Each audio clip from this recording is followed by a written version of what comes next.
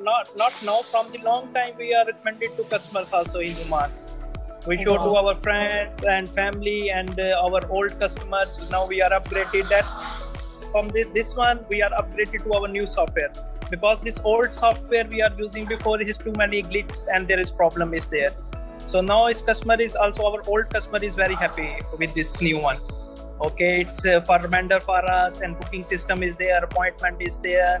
Uh, no need to come for the customer. This software really helped me in this uh, corona situation also. You just send the link to the customer no need to come. He will see his his papers everything inside. So it's it's helpful for us also